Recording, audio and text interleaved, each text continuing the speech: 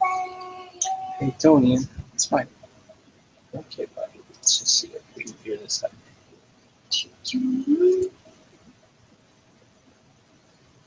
think I know what there is.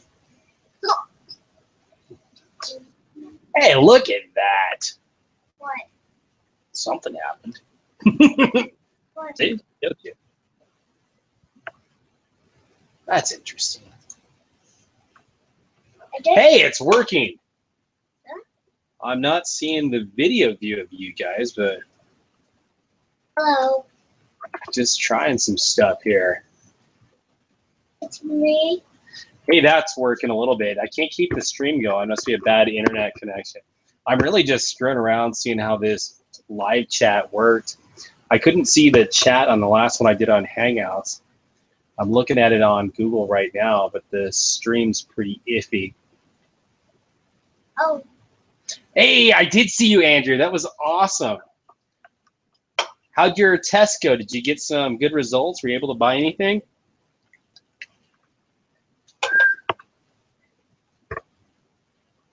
can I hear that? There's nothing to hear, buddy. Hmm. I'm glad to hear the audio is great. I can see why people are using other programs for this.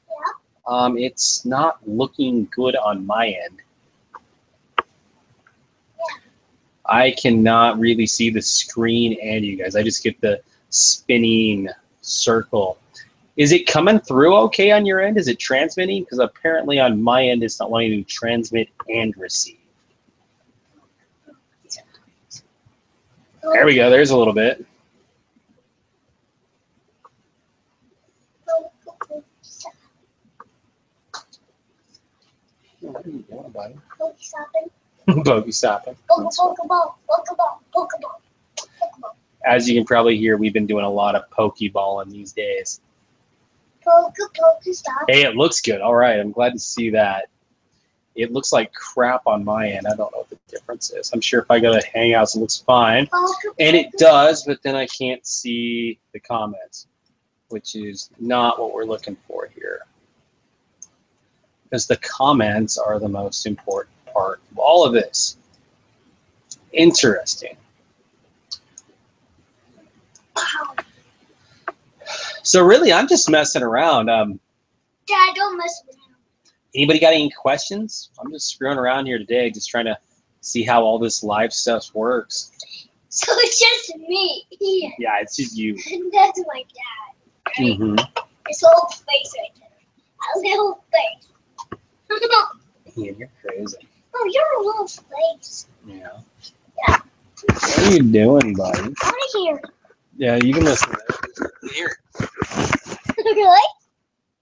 Why were you talking? Okay, a little dimming. That's probably the light in the cameras. Just It's interesting. don't worry about him. It's just me. Don't worry about him. Okay. Yeah, I don't know if I'm gonna do any live shows or anything. I was just trying to figure out how all this. My dad Really? had a box. That was pretty cool. Hey. Yeah, I'm just trying to figure out how all this works. I don't know if I want to do them.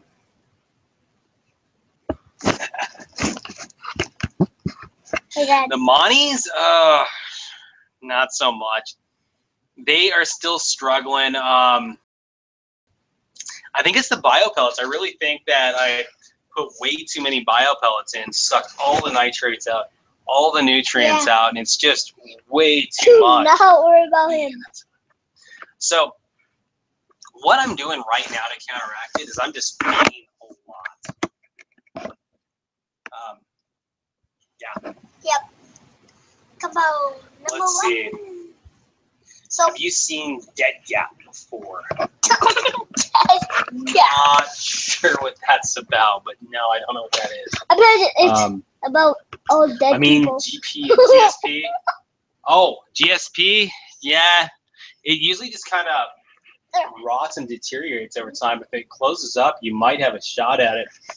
Um, I've got a, I've got some of my tank that's getting completely taken over by Cressine gorgonia. Poke, poke, stop Um, it. yeah, it's just slowly dying off because of that. But um, years ago, I had some GSP in my Poke, poke, 29 gallon that I killed.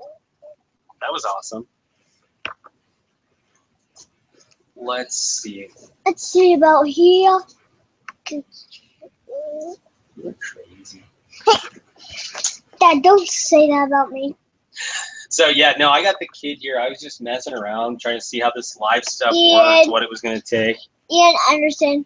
Ian Alexander Anderson. Say you're proud. Well, I don't know if a clean. I don't know if the clean tank would actually do it. So what's weird right now with what's going on is I believe that my theory is the Monties are dying off because I put too many bio pellets in, stripped all the nutrients out of the water. And, and- he has a fish. Yeah, but the the softies are actually doing pretty well, right? So I would have I was I was not thinking that the bio pellets were the problem because I figured if the bio pellets were stripping all the nutrients out of the water, then my softies would start showing signs of issues first. But that's not what I saw. I saw the problems in my SPS first, which kind of surprised me. So it can get in your tank. I'm serious. Yes. So they can get in your. Hey Ed, Hey, Ed, I have to. It's kind of funny because I came on to watch your show today. Your show wasn't on, so I just started screwing around with my own stuff to see if I wanted to try this. So here I am online, just messing around. hey Um, Ed. so yeah, really, this was You all to probably watch know. you, Ed. What happened? Yeah. So my wife has had a Back surgery. has had back surgery. So we finally got some time to sneak off and head down to the basement. So we're really just throwing around right now, trying to keep the house quiet so she can nap. She's not happy. Yeah, you know what? I was struggling to figure it out too. It's not perfect. What I found worked better for me was to go to YouTube, go to your video manager, Yes. and then go down the list to the live stream option. so you probably and- know this. And it can get in your tank. and I did that on Chrome. I I tried It's it like- first. He lives with it. I tried it first on Internet Explorer. That didn't work. And Yeah. The, so yeah, so and then we got the- Gord Oland asking, "Is the boxfish and the nano okay?" Yeah, the cowfish is doing really well. good. And So I had a Um, cowfish a year or so ago, and that died. What I think is the issue with the cowfish is they have to eat a lot, kind of out of the like the Um, whole day long. This guy like wants to frozen snack. food, like frozen So, food. I'm trying to make a show. I'm anyways, So they want to eat like all day long. So I'm keeping a little nori clip up there so that he can just snack all day, and then I'm feeding him pellets, and then of course I'm feeding him frozen. Mm, what I'm betting happened to the other one is the Tangs outcompeted him for the food, and he probably starved to death. And since he's a box fish, and they kind of have that, it's not an exoskeleton, but you kind of get the idea with it with the skeleton on the outside. You don't see him getting thin. I'm betting I starved him to death because that's kind of how the box fish works, and I didn't catch that that was the issue. So, for those of you who don't know, this is Ian. He is six, and he starts first grade on Monday. So, yeah, he's excited. First full day of school coming up. So, lots of fun for him. And you probably know this. This is Scott. That is Scott, yes. So, yeah, we've had a lot of fun lately. Haven't had the opportunity to put many videos out just because Mama's had back surgery. So, we have not had much time to get down here to work on videos. So, yeah, I've been a little light on those. Um, and then the fish tank, because of the Monties, hasn't been going as well as I'd like. So, it's a little less fun to make the videos when it doesn't look stellar. As he said, um, as he meant is, um, so who's coming to help mom is, um, grandma's here. Yes, we too. do have grandma here, but nonetheless, with every with everything going on, we don't have much time to work on the fish and the tank. Ed says, good luck. Thanks. So, yeah, so um, let's talk about tangs for a minute. I've got eight of them in my tank, and, And one so- of them blue. yes, one of them's blue. You have more than one blue tank, but eight tangs in a tank is working out pretty good. I'm actually really happy with the way eight tangs went worked out. So if you've seen Finding Um, So it it was always a gamble because of the aggression issues that go along with tanks. Um, and it really became a gamble when I went in with multiple Zebrasoma tangs in my tank. So the two purple tangs, the yellow tang, and the sailfin tang are all of the genus Zebrasoma. So I put all of those guys in there, So- knowing that it was a risk. so if you've seen and Dory, right? What? So I put all those guys in, knowing that it was a risk, and I got lucky. Um, I, I still have aggression issues. Um, the aggression is coming from mainly the two purple tangs and the yellow. There's a little bit of sailfin tang, but not much. Ironically, even though the sailfin's probably the biggest fish in the tank, he's probably the most skittish. He likes to hang out down low.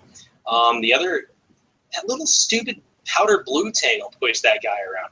So one of the smallest fish in the tank likes to push around the biggest tank. But all the aggression is still pretty minor. For a little while, the uh, right when I put the purple tangs in the tank, the new purple tang was getting his butt kicked by the old purple tang. It was really bad. I was pretty scared for the new purple tang. And then um, it got better. And then about, I don't know, two weeks ago, the old purple tang started and the yellow tang started beating on the new purple tang. To alleviate those aggression issues, I started feeding more. Now, I've started feeding more for two reasons. First, I want to alleviate the aggression. Second, I believe I have a nitrate issue. Not that I have too many, but I have too few because of what I did with all of that um, bio pellets, right? So my nitrates went too low. So I figured best thing to do, feed the fish more. And I've also started feeding my coral a lot because why not? What better way to get nitrates up than to overfeed the tank? So that's what I'm working on right now. I took three quarters of the bio pellets out, and then I've overfed the tank. So that was interesting. So let's see. Cameron Guiding says, "Where do you get your copper, and how do you treat your fish with it?" Um, so I just buy it at the LFS. I buy the Seachem Cupramine. You can get it anywhere, Amazon, local fish store, whatever. Um, Tangs, I've been pretty much treating with the full dose.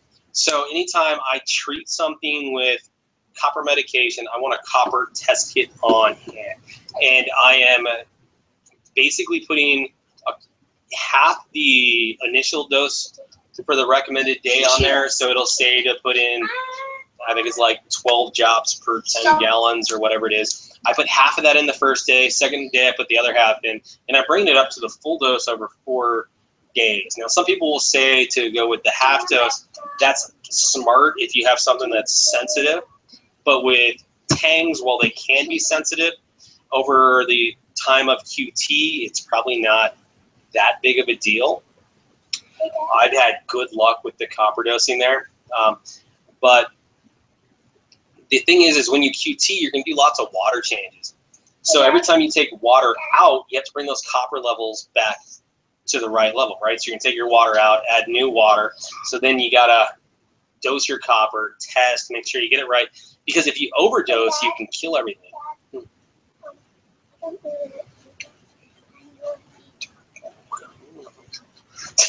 so yeah, so that's kind of what's going on there. Yeah, Um, we need like So Ed says he didn't crash Steve's show.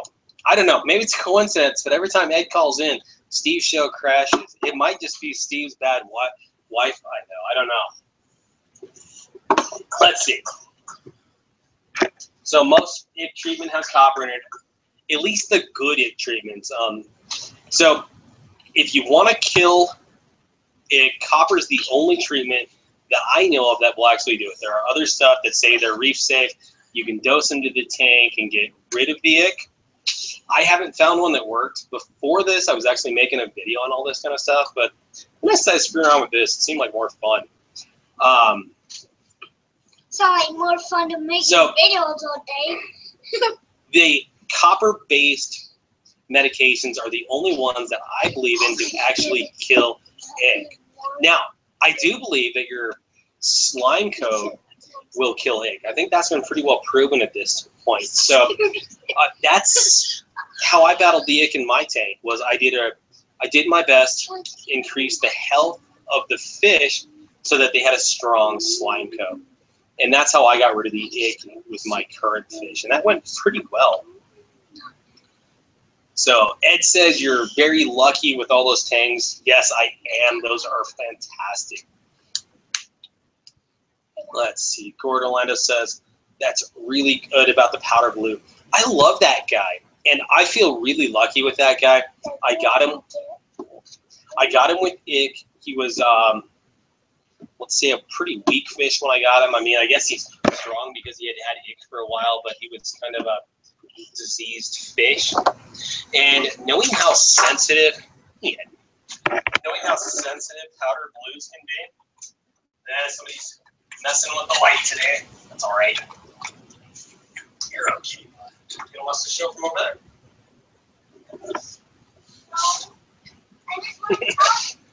So, so yeah, knowing how sensitive powder blues can be. Um, Eric Clements, if you ever watch his show, Clemensto Reefing, he had I think three or four of them before one took. And I've heard of many other people having those kind of problems with their powdered blues. So I'm actually really happy where I ended up on this. So I'm happy about that. Let's see, what else do we got going on here? Do you think a powdered blue, or sorry, do you think a 40 gallon breeder is a good tank to attempt a first saltwater system? I'm going to say yes if you plan out some sort of sump or you want to put um, a piece of acrylic in that or something so that you can put your filtration in because I really don't like the filtration where you can see it inside the tank. But as far as dimensions, um, 40 gallon breeders are great. That three foot by, I think it's two foot, that is a great tank size. They are fantastic. Because I have two, one above the other. I'm gonna, yeah, one above the other. Second one's a sump. That's perfect. Um, yeah, I would say you'd probably want to drill the back of the tank, put some sort of an overflow on that. Um, same kind of reason before. You've seen the you've seen those siphon setups. Those are going to fail eventually. So I would avoid that personally. I really like an overflow on a tank. Let's see. What do we got? Gorderland. Um, your ick videos were excellent, by the way. Thank you. Um, I didn't speak as well as I think I could have in that first one, but I completely stand by that first video. That worked perfectly. And it looks like Steve Rotter's on. Heck yeah. How's it going, Steve? And that video is actually how Steve and I kind of first met was through that because he had an ick problem at the same time that came out. So that was kind of cool. So let's see. So garlic boosts the immune system. Could increase silent lime coat. I don't know if garlic actually boosts the immune system. I got no problems um, feeding fish garlic. Um, obviously, you want your fish eating well, and I think garlic actually does help get them to eat. So I think that is huge with those guys. That's um, probably the most important part to garlic to me is just keeping them eating. Because basically, you have parasites that are feeding on your fish, so they need to be able to I guess, make up for that, right? So they got to eat well to make up for their loss. So let's see. got a lot of kids. Yes, I do love that kid. So yeah, we're just kind of screwing around tonight. This is just for fun, seeing what this is about. I don't know if I'm gonna do a live show or anything. Just messing around since Ed's show didn't work out. Okay, what about the tank transfer method? Um, tank transfer method could work for some people.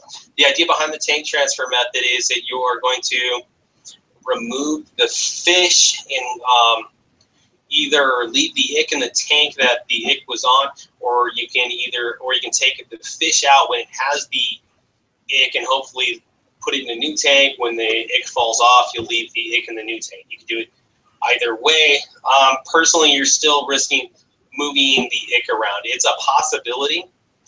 There's a guy online. Um, I don't remember exactly what his name is, um, but he does something similar to that. He lives in Florida, so he doesn't have to have a heater, but he uses these small trays that he puts the fish in. They're about a gallon, so he'll put the fish in. And then every day he's doing a full 100% water change on those little trays. So then the idea is that the ick falls off the fish and he does 100% water change and the ick is gone. So that is actually brilliant if you can make that setup work for you. You get the full water change daily, so that could work really well for the right person. So yeah, thanks, Steve. It's fun doing a live show. I don't know if I'm going to do these in the future. I was really just screwing around since Ed broke his own channel instead of yours. Let's see. Steve says tank transfer method is good, especially for keeping ammonia out. Yep, that's very cool. Stephen Scott, I watch both of your channels and your Reef Talk. Yep, we haven't gotten to Reef Talk lately. Um, we've had um, problems getting guests and making it all work out, and just oh man, it's been a killer. And the other thing that sucks is Reef Talk takes as much takes more work than any of my other videos to put together. It's a lot of fun to sit down and talk to somebody for like half an hour an hour, but coordinating everything with guests and Steve and myself and then getting the videos out, it's actually a kind of a pain to get all that done. But it is so much fun just to sit down with somebody and Steve and talk. So um, I'm not sure what the future of Reef Talk looks like, but it's a lot of fun to do. Let's see. Steve says he got a Mandarin. Go Mandarin, Steve. Go Um, Mandarin. Go so- I've had a Mandarin in my tank for three years. When I, I think it's maybe it's two years. Either way, I've had it for quite a while. Um, when I bought my pair, they were eating mysis. I actually showed them, or they actually showed them to me eating the mysis, right? So they put them in, and I watched the two fish eat the mysis. And I bought two at the time. It was a male, it was a female, it was a pair, and I paid way too much for mandarins, right? You look online, they're like thirteen dollars to twenty dollars. Well, I paid hundred dollars for two mandarins, but they were eating prepared foods, and they were a male female pair. So all of that was really good. The downside was a couple weeks after I got the mandarin, the male got this big white sore on his side and then disappeared a day or two later. So that sucked. But the female, and for whatever reason, females are much harder to get. The female is still with me. So I guess um, even at $100 for a pretty little fish like that, I can't complain too much because at the time it was eating prepared foods. It lived, it made it.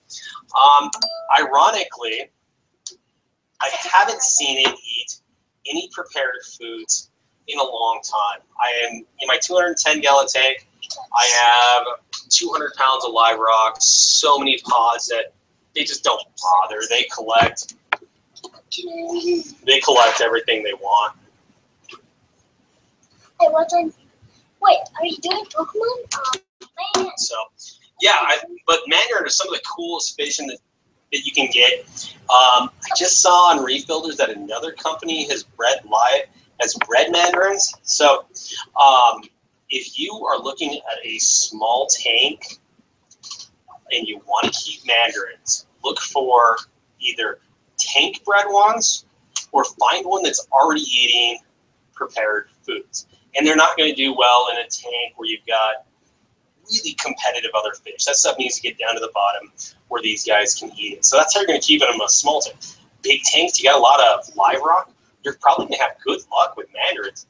Um, Steve's 125. Um, with any luck, he should be fine. He's got plenty of live rock, established tank.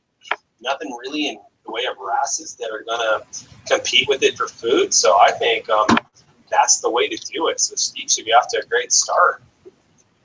Go Steve. So Philip Tennell says, "What's up, everyone? Glad to see Philip online. That's awesome." he was doing this. Yeah, and then Ed says because they eat frozen food, actually, absolutely, I would absolutely pay a premium for a mandarin that eats frozen food. It is just so worth it, especially if you have a small tank.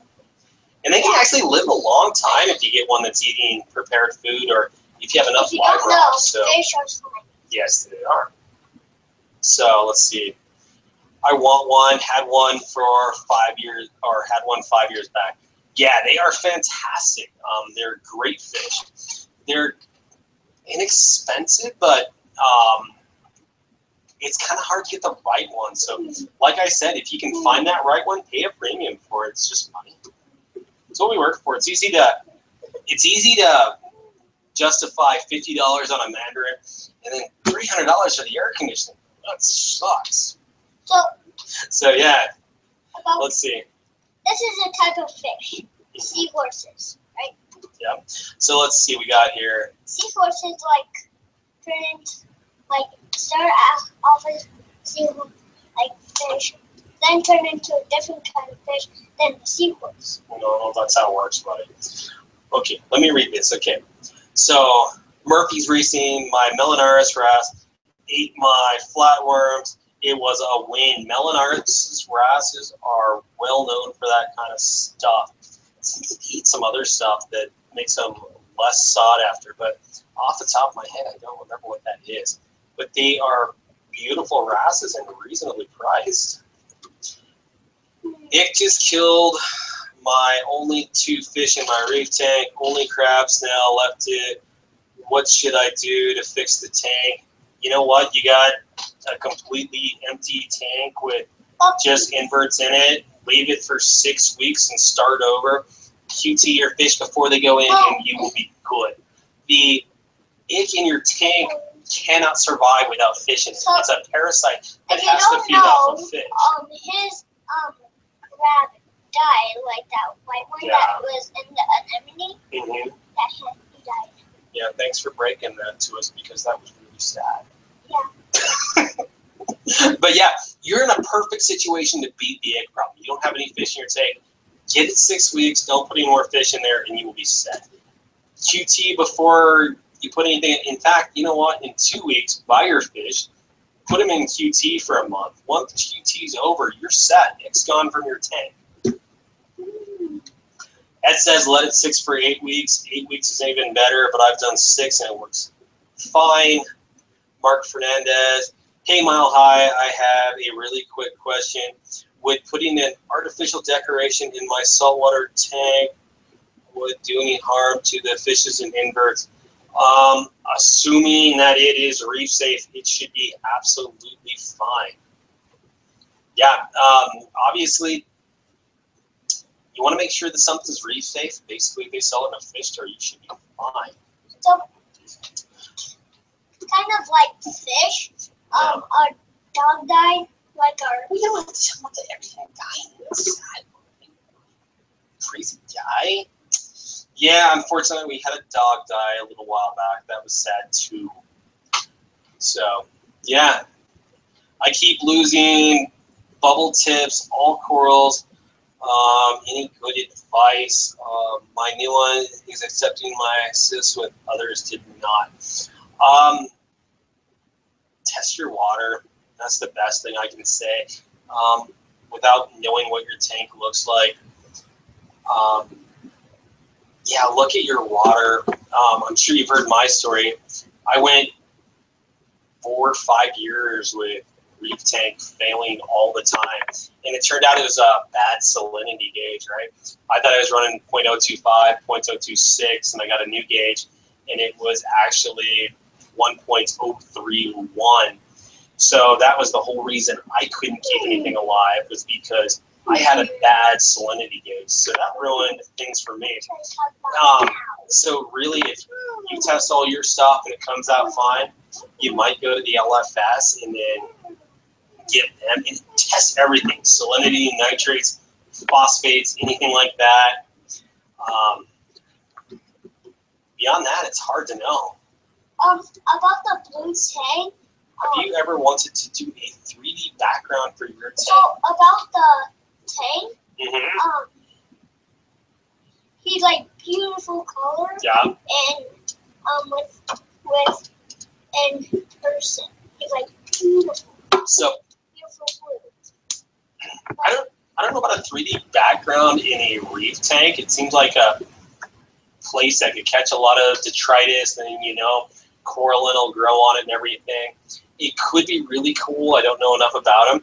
I think a fish only tank though, a 3D background would be stellar. If you, I'm sure you've seen my tank. I've got basically rock work all the way three quarters of the way up, and then the corals take up the rest. So there's not a lot of background there. That's kind of how I like to do it. But um, I'm always open to new and innovative ideas. So I'd like to see somebody try a 3D background and see what it looks like. Because you're you're probably right. I mean, if you did something rocky that had a coralline look to it, you could probably do something really awesome with it. And it might even end up being a good place to attach some corals to. So that could be awesome. Hmm. Let's see. What's your favorite symbiotic relationship in the tank? Um, the bio pellets. No, that's not my favorite one. That's biting me right now. Um, my favorite one has got to be the anemone and the crab, just because it's really cool. Um, everybody knows about the clownfish. That's really cool. But the whole anemone thing, crab, shrimp, um, clownfish, it's all really cool how the how the crab or clownfish is providing food for the anemone and protection for the anemone at the same time the anemone is providing you protection for the crab. So that's always really cool. if you haven't seen my videos on camera, um, you should definitely see them. Yeah, I want to see a dry walk rock wall. That would be really awesome. I'd, I'd like to see that too. we'll put it on YouTube. Philip Sinell saw your video on leathers. I have one that I introduced three weeks ago. He keeps shedding, opening, and shedding, now dropping over. Is this normal? It absolutely can be. Um, my wife's toadstool leather um, was pretty iffy when we bought it, but it was just so cheap and they were so big we had to get them. And it did the exact same thing. It's still kind of um, closing up and shedding once in a while, but it's gotten a lot better. Um, I would actually absolutely stick with that guy. Um, I wouldn't move him. I wouldn't mess with him. I just kind of let him get through it because that does seem to be a lot of their cycle. Like, assume like there's a like door over there and they're in there. I see rock wall, so that's attractive. I can't remember the channel. Okay, my friend has a 500 gallon in Wilmington, North Carolina, rock wall sides back. We'll need to see the video. Yeah, that sounds pretty awesome. I'd love to see what that looks like. It sounds really cool. So, anyways, I just thought we'd do a real quick video just to test out to see if this works. Um, not sure if I want to do um live videos all the time. Once in a while, this was more just to test to see what it takes to do one. So up that. So I think we are going to sign out. So Hey Dad, can I explain one more thing? so I'm going to sign out. Ian's going to explain one more thing, and then thank all of you guys for watching. Just wanted to just wanted to test this out. Um, let me know in the comments when this thing's done if you want me to do more or how this should work in the future. I really don't have any plans. That's more just screwing around waiting on Ed to show up. so thanks, Ed. what did you want to explain? So about the blue tang, um, he's like, kind of, he's pretty doing well. We have eaten him for a long time. Yeah, we've had him like four years on. Yeah, until it's like one. All right. Well, thank every, thanks to everybody who watched. I really appreciate it. I was just really messing around, seeing what to do. So good night, everyone, and we'll see you on the next one. Hopefully, I'll get that video out tomorrow that I was messing around with earlier tonight. We'll see you later. Peace Bye. out.